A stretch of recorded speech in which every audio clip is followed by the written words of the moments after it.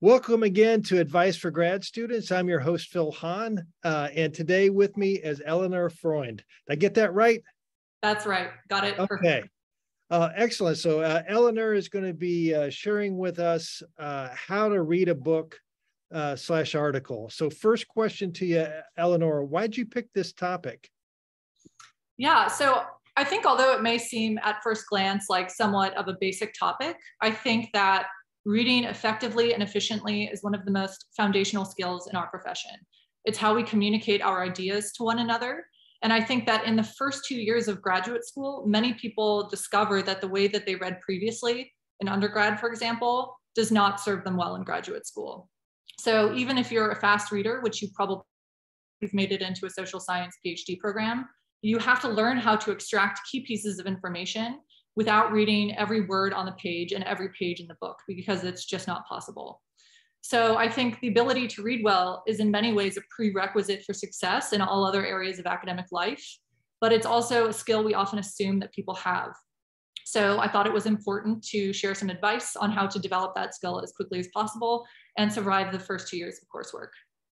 Okay, well, you've convinced me on why it's important. So let's turn to the how. What advice do you give to first and second year grad students? Sure. So I think that uh, there are two things people should really keep in mind when they're reading a book or an article. So the first question you need to ask yourself is, what am I reading this for?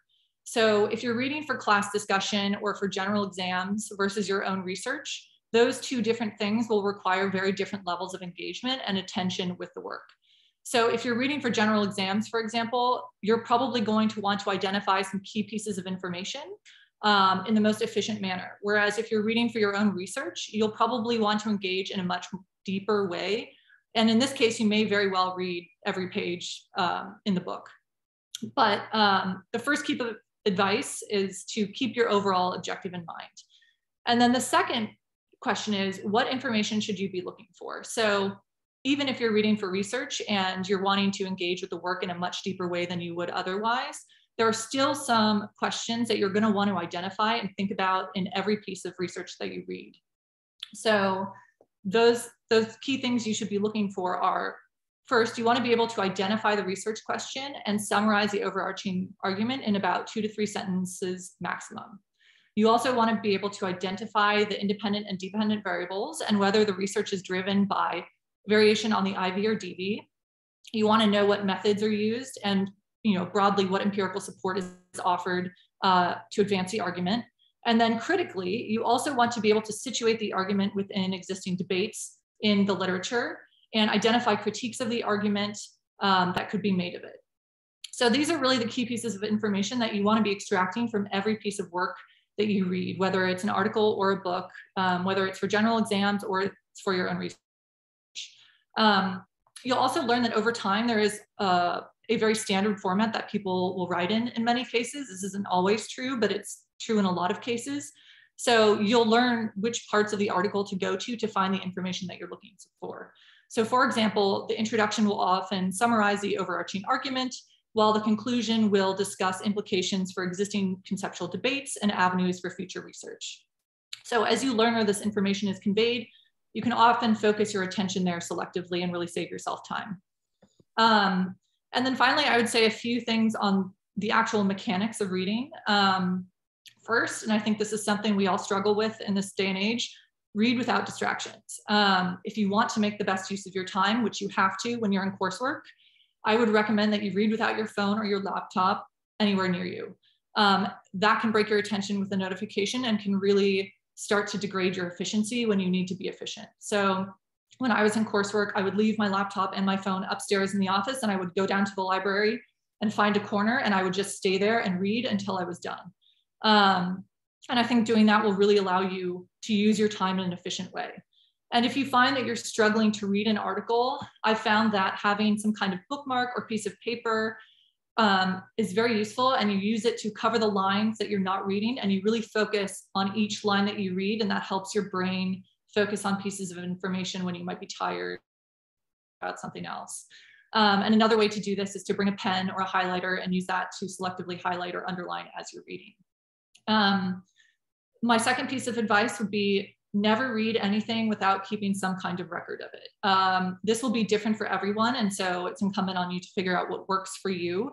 But uh, people use Zotero, they use Evernote, they use Mendeley. Some people will write notes in the margins of PDFs and save those. Uh, but the key point here is that you need to identify a reference manager and then a style of note taking that works for you, and then be consistent with that during coursework. Um, for everything you read, input it in your reference manager as you read it. It will save you lots of time later on. And make sure that you have notes on that, that piece of research that you can reference later, even if they're very brief. Um, so those notes should include the pieces of information that I mentioned above, as well as any reactions to the piece that you might have. So did you like the piece? Did you dislike it? Did you think the article missed the point? Um, keep track of your thoughts as you have them because they will be crucial as you prepare for generals. And they're also great places to start to think about dissertation topics. So really keep track of those emotional um, responses that you have to reading things. And I would even recommend creating a folder and starring pieces that really generate a lot of interest or feelings that you have when you read them and put those pieces in the folder and come back to them later on. Uh, it can be really helpful. And then the last thing I'll say is use reading as an opportunity to learn about yourself and how you learn. So think about whether you can understand an argument by reading it by yourself and really just thinking it through, or if you have to engage with other people and kind of debate the key points in order to really understand what is being argued, and then maximize whatever is most efficient for you and know that about yourself going forward. Um, also, pay attention to how you're formulating your ideas and critiques about the reading. Are you coming up with them while you're reading the piece, or is a really great idea coming to you three hours later while you're on a run? Um, these are important cues that I think will be really helpful later on when you're trying to generate your own ideas. And it can be very useful to have a sense of how you're generating those ideas. So I think I'll leave it there for now uh, and turn it back to you. All right. Well, you've been very efficient with your time on the front end of this, and you've answered some of the standard questions that I would ask, but a couple pieces kind of stand out to me. I've noticed um, uh, challenges early on and really being able to identify key IVs and DVs. Uh-huh. Uh, you mentioned that, so it's very kind of specific to political science and all. So, what kind of uh, what? How do you go about finding those when quite often some of the research and all that we have it's not explicit? Yeah, so I think this is something that you develop a sense of over time. So the first thing I would say is do your best to read and identify if it is explicitly stated what um, the dependent variable is, should certainly be stated, and then also what the different factors that are being argued that affect that dependent variable.